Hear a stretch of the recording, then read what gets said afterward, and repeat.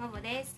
はい今回はですね最近気になるリップカラーの比較をしながらご紹介していきたいと思います。今回は3種類のリップカラーをご紹介していきます。今回紹介していくものはこちらです。じゃん。チフレさんの口紅なんですけれどもはい、チフレさんの口紅は結構 SNS とかでもはい、カラーの発色がいいとかあとはお値段が手に入りやすいのでお若い方から結構大人の方まで使う方が多いようです。ちょっと夏から秋にかけて使える人気のお色というものをちょっとチェックして購入してみたので1つずつレビューしていきたいと思います。こちらです。パッケージは全て同じでこういう形をしています。1つ目はこちらのカラーです。418番のカラーになります。オレンジ色になりますね。発色としてはこんな感じの本当に濃ゆいオレンジっていう感じです。塗ってきます。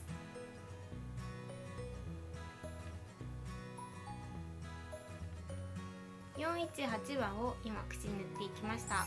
どうでしょうか？うん。すごく発色も良くてはい。同じメイクでもだいぶ印象変わるなって気がします。手に塗るよりも唇に塗ると発色感がまたさらに綺麗に出るのでお仕事とかどんな場面でも使えそうなお色かなって思います。はい次はこちらです、まあ、パッケージは同じになります。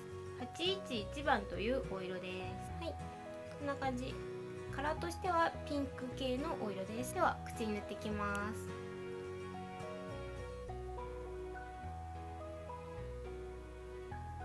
8番を口に塗ってきました。どうでしょうか？とほんのりピンクに色づいてうんすごくナチュラルで可愛らしいイメージになるかなって思います。結構重ね塗りはしているんですけれども多めに塗った方が発色感は出るんじゃないかなって思いました。次で最後になります。最後はこちらです。じゃん。はいパッケージはまた同じですね。こちらです。はい371番のパープル系のお色です。まあ、一気にパープル系ですね。秋冬にすごく使えそうなカラーかなって思います。では口に塗っていきます。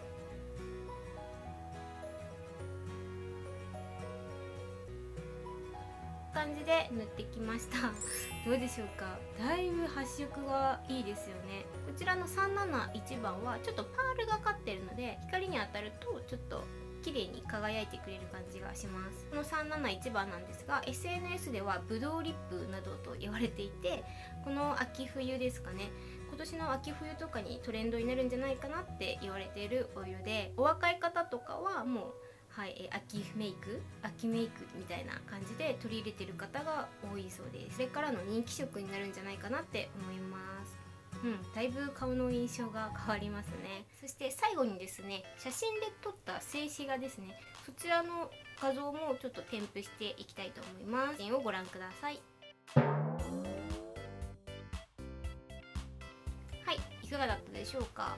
どのお色もすごく可愛くておすすめだなって思いました。こちらのチフレさんのリップカラーですがお一つ税抜き300円ということでとてもお買い求めやすいお値段じゃないかなって思います。300円とは思えない発色をしてくれるのでプラスして自分の持っているグロスとか組み合わせてもすごいいいんじゃないかなって思います。使っても1000円くらいで購入できるのですごくいいんじゃないかなって思います。そうですね。8月もだんだん中盤に入ってきて、はい、これまた秋冬のメイクとかも流行りだしてくると思いますのでよかったら是非チェックしてみてください。最後までご視聴いただきありがとうございました。また次の動画でお会いしましょう。バイバーイ。